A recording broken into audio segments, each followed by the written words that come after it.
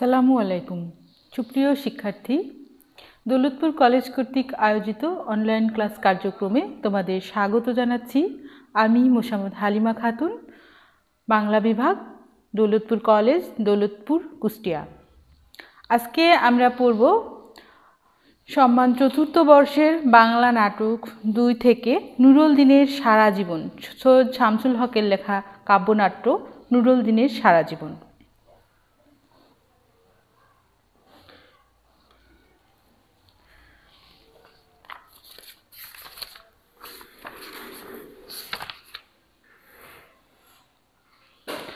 নুরুল দিনের কথা মনে পড়ে যায়, যখন আমার স্বপ্ন লুট হয়ে যায়। নুরুল দিনের কথা মনে পড়ে যায়, যখন আমার কণ্ঠ বাজেয়াপ্ত করে নিয়ে যায়। নুরুল দিনের কথা মনে পড়ে যায়, যখন আমারই দেশে আমার দেহ থেকে রক্ত ঝরে যায় ইতিহাসে প্রতিটি পৃষ্ঠায়। সৈয়দ শামসুল হক বিংশ শতাব্দীর শেষ ভাগের সক্রিয় একজন প্রখ্যাত বাংলাদেশি সাহিত্যিক।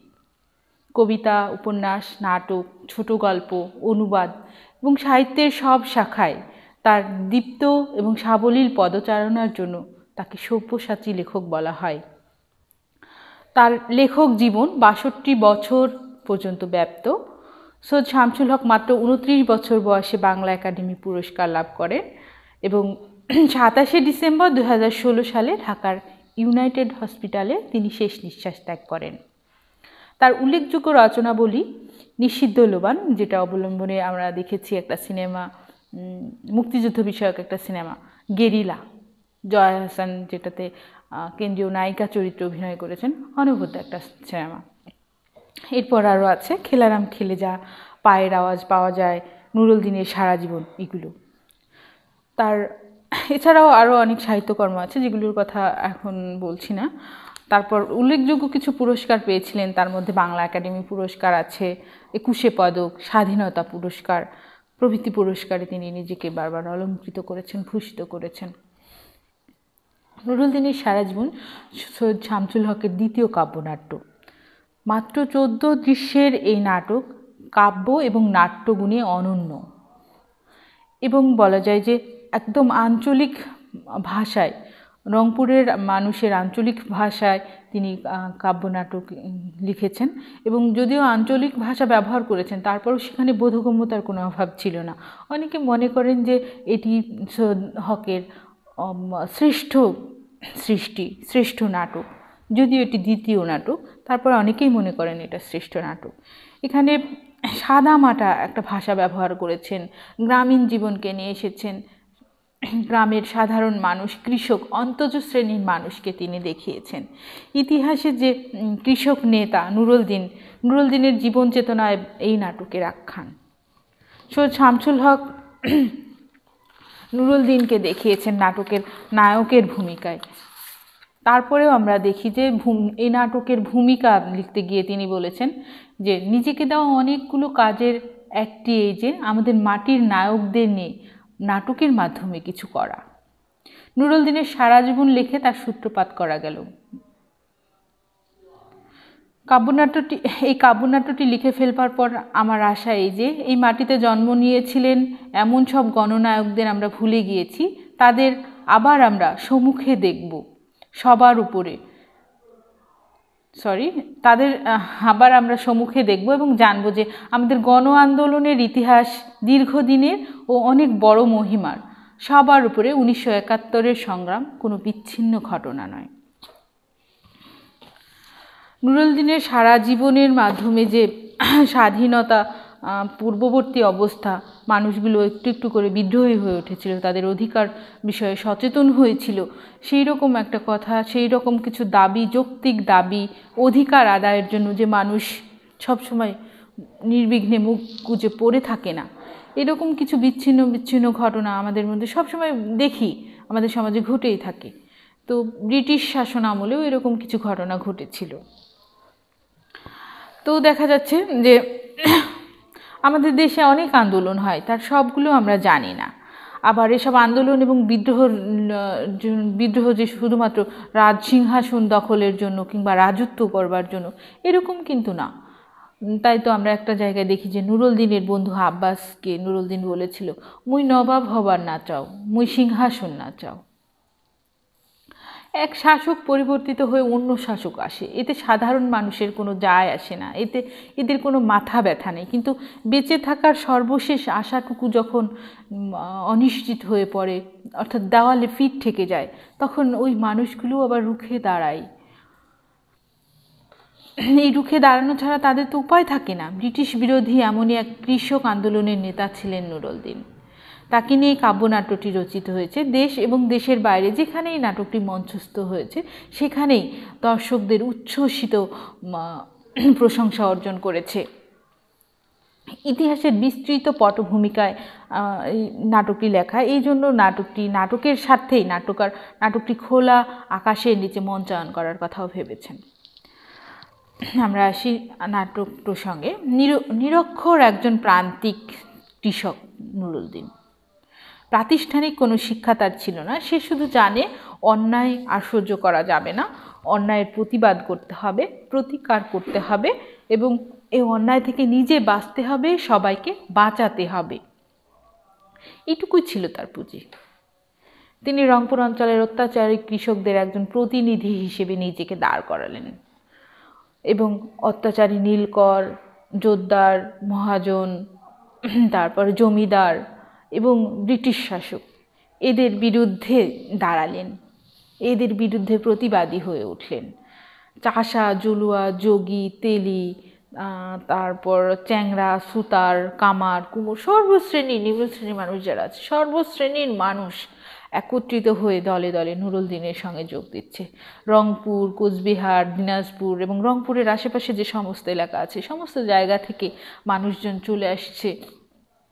নুরুল দিনের সঙ্গে একাত্মতা ঘোষণা করছে এবং হাজার হাজার জনতা নুরুল দিনের সঙ্গে একাত্মতা ঘোষণা করে তার আশ্রয়ে একটা কিছু করতে চাচ্ছে। তারা নুরুল দিনকে নেতা মানছে এবং নুরুল দিন তখন হয়ে উঠছে ওই আন্দোলন, ওই অঞ্চলের কৃষক আন্দোলনের এক নেতা। নুরুলদিনকে নবাব হিসেবে অভিহিত করতে চাচ্ছে তারা এবং নুরুলদিন বারবার জানাচ্ছে সে নবাব হতে চায় না। প্রকৃতপক্ষে যে শোষণ, নিপীড়ন, অত্যাচার, এগুলো হচ্ছে সমাজে, তখনকার সমাজে। এগুলো থেকে সে নিজে বাঁচতে চাচ্ছে, সকলকে বাঁচাতে চাচ্ছে এবং কৃষকরা সবাই নুরুলদিনের কথা মতো আন্দোলনে নেমে পড়ছে। জমিদার জোদ্দার মহাজন, এদের যে স্বার্থ, স্বার্থপরতা, এগুলো বাংলার মানুষকে ঋণ খেলাপি করে দিচ্ছে। জমিদারকে জমির চার গুণ, পাঁচ গুণ খাজনা দিতে গিয়ে মানুষ যে ফসলটুকু জমিতে আবাদ করছে সেই ফসলটুকু দেখা যাচ্ছে সমস্তটুকু বিক্রি করে এনে তাদের ঋণ শোধ করতে হচ্ছে। তারপর কি হচ্ছে? তারপর না খেয়ে ধুকে ধুকে বেঁচে থাকা কোনো রকম। কেউ মারাও যাচ্ছে, অভাবে পড়ছে। আবার তারা জমি, ভিটা, বাড়ির বাস্তু ভিটা যেটা, সেটা বন্ধক রেখে মহাজনের কাছ থেকে, জমিদারের কাছ থেকে অনেক সুদে ঋণ নিয়ে আসছে, অনেক সুদের বিনিময়ে। এবং সেই ঋণ আর তারা কখনো শোধ করতে পারছে না। সেই ঋণের বোঝা পরবর্তী প্রজন্মের উপর দিয়ে তারা মারা যাচ্ছে। পরবর্তী প্রজন্মে যারা আসছে, তারা পূর্ববর্তী প্রজন্ম থেকে পাওয়া ঋণের বোঝা এবং নিজেরা কিছু ঋণ করে আবার পরবর্তী যাদের পরবর্তী প্রজন্মের জন্য রেখে যাচ্ছে। এই যে একটা ধারাবাহিকতা, ঋণের ধারাবাহিকতা তারা রেখে যাচ্ছে। তাহলে এই মানুষগুলো কি স্বাচ্ছন্দ্যে, সাবলীল জীবনযাপন করতে পারছে কখনো?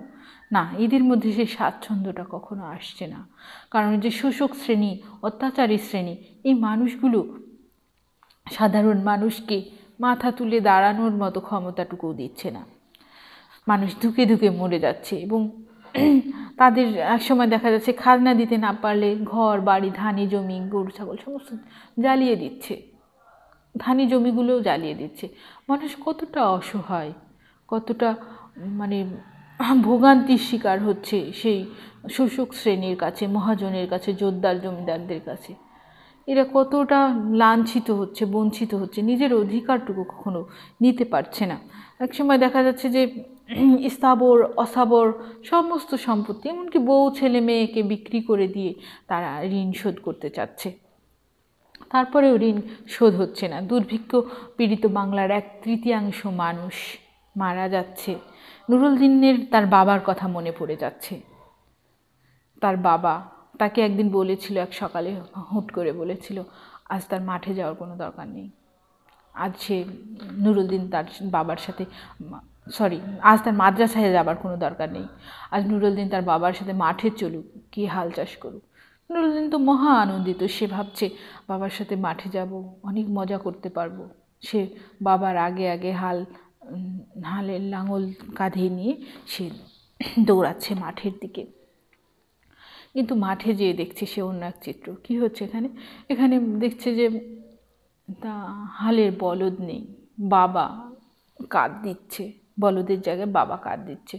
সে জিজ্ঞাসা করছে, বাবা, তুমি কেন? তখন বাবা বলছে যে, মহাজনের ঋণ শোধ করতে গিয়ে তার হালের বলদ বিক্রি করে দিতে হয়েছে। এখন যদি কোনো রকম খেয়ে পড়ে বেঁচে থাকতে হয় এছাড়া আর কোনো উপায় নেই। এই জায়গাটা আমরা একটু দেখি যে কেমন করে নাটকের ভাষায় যদি আমরা একটু দেখতে পারি, আমরা একটু দেখে নিই।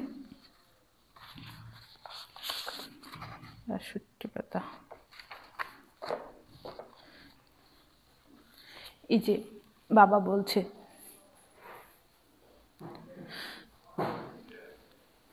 পারবু না রে লাঙল ঠেলিতে। ঠেলিব নাঙল, আজ বাপে ও বেটায়। আয় বাপাই বাপের যে বাপ ছেলেকে সাদরে ডাকছে যে, চল আমরা মাঠে যাই, পারবি না। এরকম একটা বাপ বাপ সঙ্গ চাচ্ছে ছেলের। জোয়ালে বলদ, তবে জুতি দেও, বাবা। আর কেমনে চষিতে হয়, আগতে শিখাবা। একবার দেখিলেই পারিব নিশ্চয়, বড় ফুর্তি। তিলেক দেরিও তার সহ্য হয় না। নাঙল চষিবে, এও মজাদার বলি মনে হয়। হঠাৎ নুরুলদিন দেখিবার পাই দেখিয়া তাজ্জব তাই হইয়া যায়। দেখিবার পাই বাপ তার নিজ কান্ধে জোয়াল তুলিল, জোয়ালে সে অতি ধীরে নিজেকে জুতিল। বাপ, আজ হতে নাঙলের নতুন বলদ। আর নুরুলদিন কান্দিয়া শুধায়, বাপজান, তুমি কেন? বলদ কোনঠাই বলদ তো নাই বাপ, বেচিয়া নগদে, রাজার খাজনা শোধ, দিনু কোনো মতে এই যে, বাপ বেটার কথোপকথন। এর মধ্যে আমরা দেখেছি যে একটা শূন্যতা কেমন করে কাজ করছে, বাবার কণ্ঠে কেমন একটা শূন্যতা। তারপরেও বাবা কাঁধে জল তুলে নিচ্ছে বাবা বলদের জায়গায় সে চাষ করছে, হালের বলদের জায়গায় সে তার নিজের কাঁধ দিয়ে চাষ করতে চাচ্ছে। এবং প্রখর সূর্যের যে প্রখর তাপ মনে হচ্ছে সূর্য আগুন ঢেলে দিচ্ছে। এরকম অবস্থায় একসময় নুরুলদিনের বাবা অসুস্থ হয়ে যাচ্ছে। রোদের তাপ সহ্য না করতে পেরে অসুস্থ হয়ে যাচ্ছে, সে মাটিতে পড়ে যাচ্ছে। একসময় চিৎকার করে উঠছে, তার গলা দিয়ে কোনো আওয়াজ বের হচ্ছে না, বরঞ্চ তার গলা দিয়ে মানুষের আওয়াজের পরিবর্তে গরুর স্বরের মতো হাম্বা ডাক বের হচ্ছে। এই জায়গাটা আমরা আরেকটু পড়ে দেখি। জোয়াল কান্ধেতে বাপ অকস্মাৎ পরিযায় জমির উপর, ঘাড় ভাঙি পড়িয়া সে যন্ত্রণায় ছটফট করে কিছুক্ষণ। তারপর হঠাৎ মস্তক তুলি, নীলক্ষার পানে দৃষ্টি করিয়া স্থাপন বাপজান মোর ভাগারে অন্তিমকালে পশুর মতন। ডাক ভাঙে উঠিল হাম্বায়, মানুষ উঠিল ডাকি পশুর ভাষায়। কি মর্মান্তিক একটা দৃশ্য। মানুষ পশুর মতো করে শব্দ করছে। যাই হোক, এসব কথা মনে করে নুরুল দিনের চোখে আজও জল, দু চোখ জলে ভিজে যায়। কষ্ট হয়। কিন্তু এই কষ্ট তো সে কাউকে বোঝাতে পারে না। এবং সে এজন্য জমি, জমিদারদের এই চক্রাকার সুদ থেকে মুক জমিদারদের সুদ থেকে সাধারণ মানুষকে মুক্ত করতে এবং ব্রিটিশদের অত্যাচার থেকে রক্ষা করতে এই আন্দোলন শুরু করেছিল নুরুল দিন নুরুল দিন নিজের মৃত্যুর জন্য ভয় পায় না। আসলে নেতা হলে তো এরকমই হয়। নুরুলদিন যেহেতু গণমানুষের নেতা গণ আন্দোলনে নেতৃত্ব দিচ্ছে নুরুলদিন। সেখানে তার পিছু টান থাকবে, ভয় থাকবে, এরকম তো না। আমরা নায়কের নেতার যে গুণগুলো গণনায়কের নেতা হোক কিংবা নায়ক হোক, নায়কের যে গুণাগুণ, এই নাটকে আমরা নুরুলদিনের মধ্যে সেই নায়কের গুণগুলো দেখতে পাই। সে নিজের জন্য ভয় পাচ্ছে না, কিন্তু তার সহযোদ্ধাদের মনোবল বাড়াতে সে বারবার বলছে যে, এক নুরুলদিনের জন্য আন্দোলন কখনো থেমে থাকবে না। এক নুরুলদিন চলে যাবে, আবার নতুন নুরুলদিন আসবে। আন্দোলন অব্যাহত থাকবে। এবং এই মুক্তির আন্দোলন কখনোই যেন থেমে থাকবে না। কিছুদিন যাবৎ তার স্ত্রী আম্বিয়া স্বামীর খোঁজ পাচ্ছে না। সে যাচ্ছে স্বামীর খোঁজ না পেয়ে তার বন্ধুর কাছে যাচ্ছে। বন্ধুর কাছে যে সে জিজ্ঞাসা করছে যে আমরা যদি দেখি নবম দৃশ্যের একটা জায়গায়, নুরুলদিন খোঁজ না পেয়ে বউ যখন কথা, কথোপকথন করছে আব্বাসের সাথে, ঠিক এরকম একটা সময় নুরুলদিন আবার রণক্লান্ত নুরুলদিন ফিরে আসছে বউর সাথে তার কথোপকথন হচ্ছে। বউর খুব আশা সে একটা আগুন পাটের শাড়ি চাই সুন্দর একটা শাড়ি। যে শাড়ি নবাবের বউরা পরে কিংবা যেগুলো বিক্রি হয়ে যায়, ওই যে সাহেবদের কাছে বিক্রি হয়ে যায়, ইংরেজ শাসকরা যেগুলো কিনে নিয়ে যায়, জমিদারের বউরা পরে। নুরুলদিন হঠাৎ চিৎকার করে উঠে তখন সে বলছে, আগুন আগুন আগুন শাড়িতে নয়, প্যাটোতে প্যাটোতে আগুন জলে এক ঠায় হামার প্যাটোতে। আর কিষানের সন্তানের প্যাটের ভিতর, আর ওই আগুন পাড়ের শাড়ি বনে যায়, উদাম উদাম তাই। একশোটা বস্ত্র নাই কঙ্কাল গতরে। আগুন পাটের শাড়ি নিয়ে নেয় কোম্পানি কুঠিতে। আগুন পাটের শাড়ি জ্বলে ওঠে তাঁতির প্যাটেতে। আগুন পাটের শাড়ি দাও দাও করে জ্বলে সারা বাংলাদেশে। বসি দেখ মনের হাউসে। বসে বসে দেখ আম্বিয়া।